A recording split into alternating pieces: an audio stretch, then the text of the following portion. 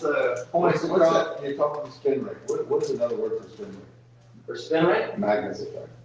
Magnus effect. Yeah, spin, Magnus effect, the spin of the ball. Called mag, y'all guys look that up, it's called a Magnus effect. I did a video on it about Really? six years ago. yeah. Before my time, I only know it as spin rate. Yes. And we used to do, so me and Christian were long-time baseball coaches and we were always really interested in, I was a pitching coach, so spin rates were really important.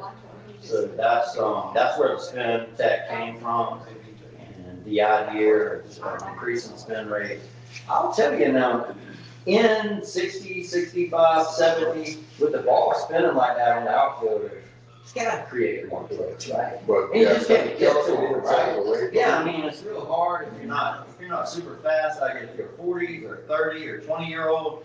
But, um, I, I just, if, if, if I'm a little slower out there, I'm thinking it's harder to get to with it moving that. The one thing that I like about a Magnus, a spin rate is Yeah. the guys that, when you hit it down, they'll come in.